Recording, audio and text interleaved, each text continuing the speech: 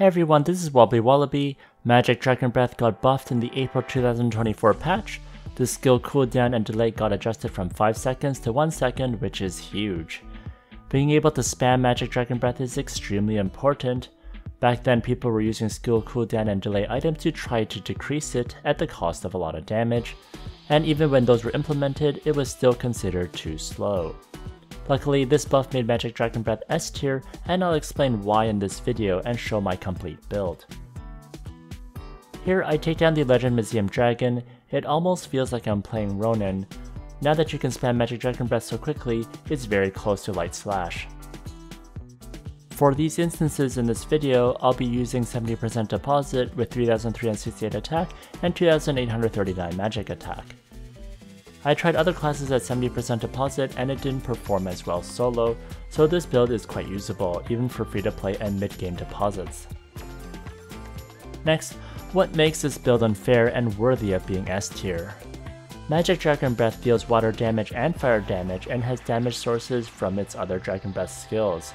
There's plenty of multipliers as well. But it gets even better, with the Dark Dragon Flame Star Rune you can do dark elemental damage as well, this means you have 3 elements, so you don't have to worry about elemental disadvantage as much as other classes that are stuck to a certain element. Next, the Refined 15 Dragon Howl adds insane damage modifiers to your Dragon Breath, in particular the skill multiplier of 200%. To truly see the potential of this build, you need a Refined 15 Dragon Howl. Also, the Tier 5 effect is insane. Having 30% ignore defense during the Death Awakening is great, although they translate this as Dead Rising, Although this only lasts for 30 seconds and has a cooldown of 80 seconds, but this is nice if you lack ignore defense. But there's more, where your magic dragon breath is busted is the demonic breath effect, where every 0.5 seconds you inflict 0.2 times demonic breath damage for 1.5 seconds. These three ticks are crucial for your damage, and again the translations are a bit weird, this really is magic dragon breath. Instances like Legend Museum or Legend Isles has bosses that can't be one-shot and has damage caps per hit, so dealing damage per second, especially at a small interval, is extremely important. You'll end up having very high DPS because you're constantly damaging the target. Next, Sink or Swim is a busted skill that makes Rune Masters and Ronins S tier.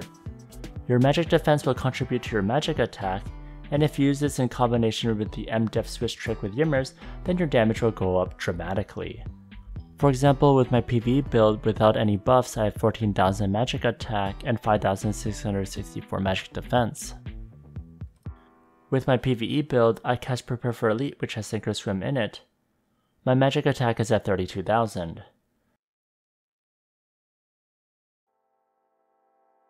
Next I have my MDEF set in my Ymir slot and I switch to it.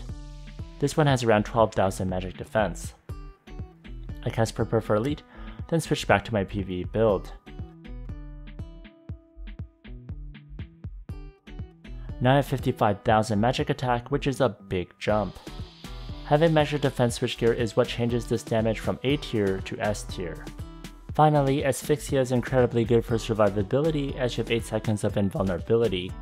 If you know when to time it against bosses, you won't die and it will be great for soloing instances.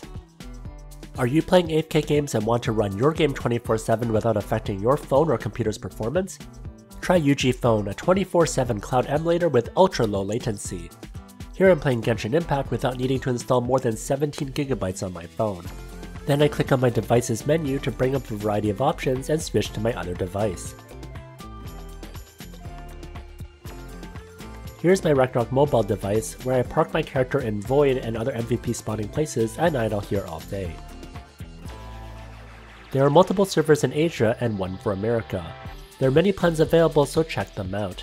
If you do sign up, then use the invitation code WOBBLY to immediately get a bonus of 488 diamonds.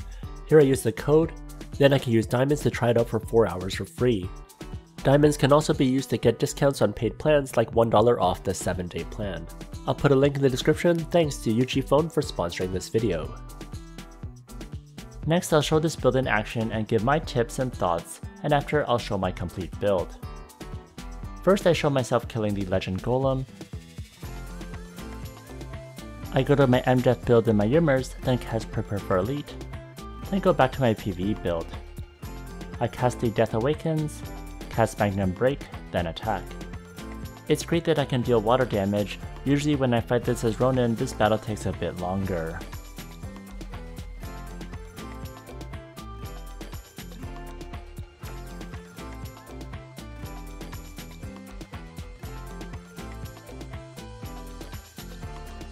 The golem goes down quickly, which is great. Here's a brief overview of my gear, I only swap out my accessory cards as needed. And here's my shadow equipment, Oracle Mirror, and relics too. Next is the Sea Spirit Totem. I go to my MDEF build in Ymir's, cast Prepare for Elite, then switch to my PV build. I cast a Death Awakens, cast Magnum Break, then attack. The damage here is great too, you can really see how well the tier 5 weapon effect is on the damage over time. You can also cast a Viscerival for some extra damage,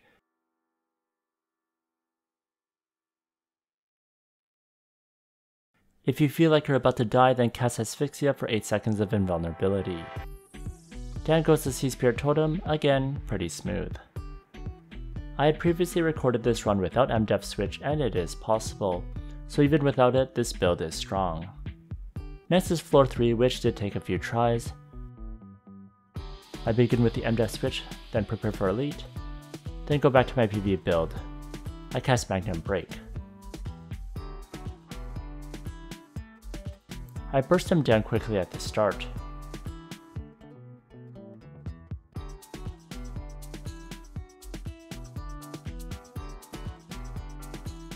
For phase 2 it gets messy, I start to die so I cast Asphyxia.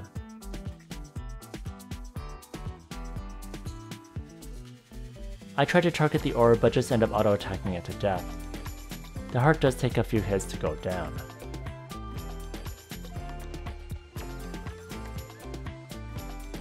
For phase 3 I quickly end the switch before he comes, you get used to doing this in the heat of battle.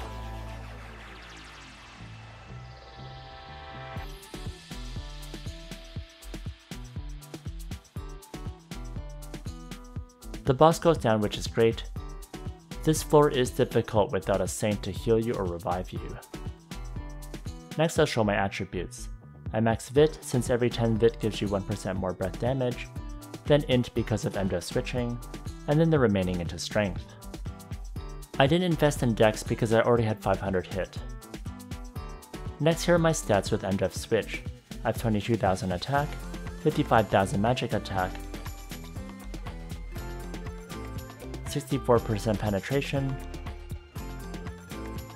34.5% skill damage increase, 117.2% damage, 119.5% physical damage increase, 204.1% ignore defense.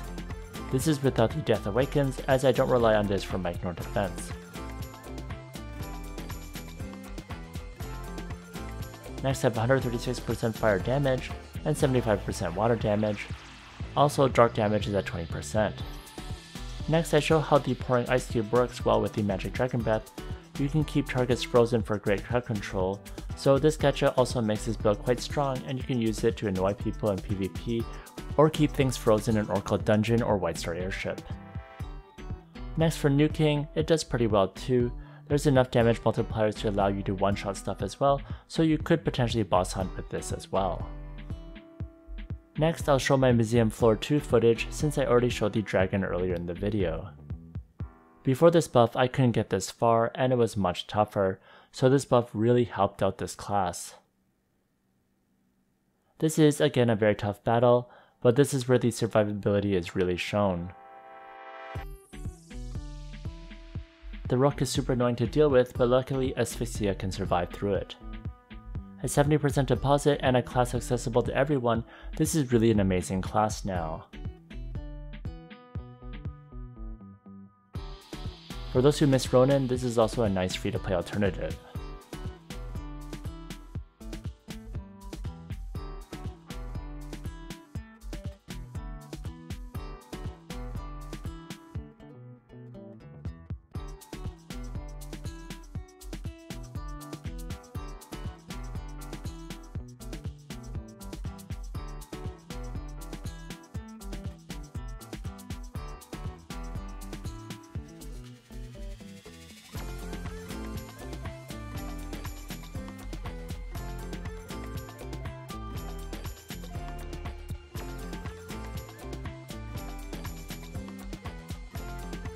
Thankfully, the boss goes down. Next are my advanced runes. I think this build is rune heavy, so I want to address this before the gear. That way you can know whether you have some of the requirements. First is Death Cage Star Rune. Ideally you have a good second line so you can lifesteal while in asphyxia state, but having nothing special is fine for this rune too. And also the third line is only for PvP. Next is the Berserk Breath Rune. Ideally you have a high first line and then a second line. The second line is very useful for dealing with mobs and bosses in White Star Airship. If you just care about legend instances, then the first line is the most important. This is the rune that you need to roll the most for because you need some good stats here. Next is the Etched Mark Rune. You need the third line and this gives a nice progressive damage boost. I wouldn't say that this is mandatory, but this is definitely one you should roll for. Next is the Darkness Awakening Star Rune. I'd highly recommend a high first line for a longer duration. The third line is a nice to have. Again, this is a rune that you probably want to roll good for because the high first line helps a lot for your damage. Next is the Dark Dragon Flame Star Rune. A high first line is great, the second line is good for mobs, and the third line is good for PvP. Finally is the Weapon Blocking Rune. If you have the second line, you can use it. This is a rune that fits, but it isn't necessary. I'd use the Anger Reflex rune for making Frenzy better, but I'd have to carve it to fit, so I didn't use it. Next for Arcane Runes, White Blade Rune is good for a boss killer, especially if there aren't any other enemies around. Next, the Ward Preparedness Rune is great for giving you a self shield, this adds to some survivability. Next, the Transmission Rune is great since Magic Dragon Breath is 7 meters range, so it will work at max range. Next are skills. Here are my Swordsman skills. Magnum Break can increase attack by 20%, which is a great temporary buff. Endure is also great for preventing flinching. Next are my Knight skills. The reason why Aura Blade has points in it is due to the Aesir Monument. It gives 30 more attack per level of Aura Blade, the other properties are for auto attack. Next is Cavalry Master. This gives you damage to large monsters and small monsters. This allows you to do the double insight effect from Minorous and the Desert Wolf card, which gives you 100% ignore defense, which is quite busted. I lack morale and chance, so I take advantage of this, and you'll see this later with the cards I use. Next, here are my Lord Knight skills. Next are my Rune Knight skills. For Dragon Breath, its damage goes up 20% when under HP Light status, and you gain 1% per 10 Vit, so has some great damage modifiers. You also have 100% chance to burn. Next for Dragon's Water Breath is similarly influenced by HP Light and Vit. You also have 100% chance to freeze, which is great for crowd control. Next in my Prepare for Elite, I have Endure, Concentration, Lord's Aura, Heart of Steel, Sword Parry, HP Light, and Sink or Swim. In my manual bar, I have Abyss Arrival, Magnum Break, The Death's Awaken, Asphyxia, Frenzy, and Prepare for Elite. For auto attack, I just have Magic Dragon Breath. Next is gear. I don't have good morale and chance, so I went for the double insight build, as well as focusing on elemental damage increase. For offhand, I have the Dragon Bone Shield with the 18% physical damage increase random attribute. I use the Ancient Artifact User card for damaged MVPs. Next for armor, I use the Other Shore Patrol with the 20% elemental damage increase random attribute. 35% more water and fire damage is huge when you equip this. Note I only have Morale 2 here, I wish it was a bit higher. For cards, I use the Poitata Star card for dealing with non-demi-humans. For Garment, I use the Leader's Pauldron with 12% skill damage increase random attribute. For card, I use the Golden Flame King card for MVP damage. Next for footgear, I use Fair Judgment with the 6% damage random attribute.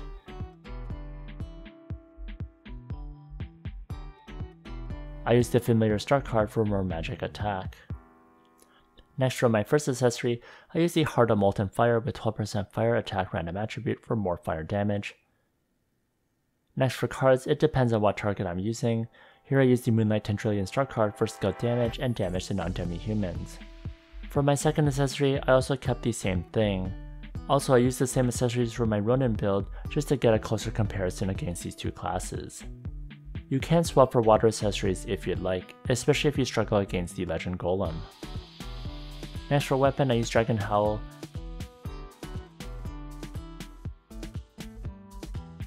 Make sure to get it to tier 5. Next for cards, I use the Drake Star card for damage to large monsters, and I use the Desert Wolf Star card to activate the Desert Wolf Insight effect. If you have enough morale and chance, then you don't actually need to do this, you can replace this with another Menorah Star card instead. Next for headwear, I use the Telebaby for damage to large monsters. This will activate the Menorah's Deposit Insight effect as well. Next for card, I use the Machine Dragon Wing card for MVP damage. Next for face, I use the Cube Blower for damage to MVPs. Next for mouth, I use the Ocean's Attachment for MVP damage. Next for back, I use the Chicken Axe. This is the best in slot for back, especially if you're doing solo. Next for tail, I use It's Too Late for the skill damage. For my shadow equipment, I'm basically using a general set for physical damage users, which also includes ignore defense. Next for Oracle Mirror, I use the Bill for MVP damage. For my defensive Oracle Mirror, I use Cardo for the MDef. Next for Relic, I use Lord of Vane, primarily for the elemental counter coefficient. Next is my MDef gear. For offhand, I use the Marine Soul Bulwark for the 10% MDef, and I have the 36% MDef random attribute. For card, I use the Tomb Zombie for the MDef. Next for armor, I use the Other Shore Patrol for the 15% MDef and have the 24% MDef random attribute. For card, I use the Rock Spirit Turtle card for the MDef. Next for garment, I use the Imperial Knight's Cape for the 24% MDef random attribute. Next for card, I use the Willow Star card for the MDef. Next for footgear, I use Goldbean's Greave for the MDef and I use the Fawn card for the int. Next for accessories, I use the diamond earring with the 12% MDef random attribute. I use the Quiff card for the MDef. For my next accessory, I use the Void Crystal for the 12% MDef random attribute. I also use the Quiff card for the MDef. Next for my weapon, I use the Dragon Howl. I equip two Sting Star cards for the MDef. Next for headwear, I use the Gloomy Witch's headwear for the MDef. I use the Gibbet card for the MDef. Next for face, I use the Nightmare Ghost face for the MDef. Next for mouth, I use the Night Before Assessment for the MDef. Next for back, I use Fantasy Poring Ferris Wheel for the MDef. Next for tail, I use the MDef Fairy, also for MDef. With all these gears in place, I show my MDef is at 12,997. This will result in a huge boost in magic attack. Next for food, I use 6 stacks of Plantera Royal Salad, then I use Strength B, Int B, Vit B, Fire Mastery Alloy, and Slow Attack Alloy. Next are my final thoughts. I think that Dez brought this build back to life with the recent buffs. I think this class is really strong and fun to play, especially if you don't want to invest in the auto attack Rune Master. Also, if you didn't get Ronin back when it was released, you can kind of experience what it feels like. It's definitely pretty close, but of course Ronin is still a bit more powerful. Next, this class scales very well with higher deposits. Normally, when I have a 130% deposit, my magic attack can go up to 85,000, which is insane. You will melt bosses like crazy, and this is because of or Swim and the Ymir switch. I do believe the Magic Dragon Breath build is now S tier, and what are your thoughts? Are you gonna try it out? Let me know in the comments section. If you enjoyed this video, please like, comment, and subscribe, Here's a video that I recommend, and if you want more Rune Master videos, check out this playlist over here.